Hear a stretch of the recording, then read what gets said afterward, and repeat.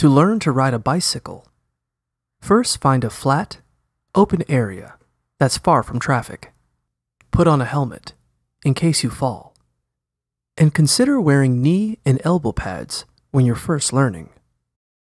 Place your bike on a flat surface and adjust the seat so both of your feet can touch the ground while you're seated.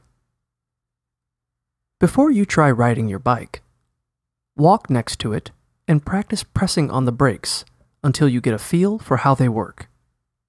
Then, sit on your bike.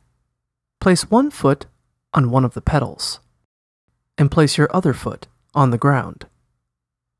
When you're ready, push off with your foot that's on the ground and see how long you can glide on your bike without pedaling. Keep your eyes forward and look toward where you want to go, which will help you balance. If you feel yourself starting to tip, place your foot back on the ground to catch yourself. Keep doing this until you're comfortable balancing on your bike. Then, do the same thing again. But this time, start pedaling with your feet. Continue pedaling and steering in the direction you want to go. The faster you pedal, the easier it will be to balance. If you need to come to a stop, stop pedaling and press down on the brakes.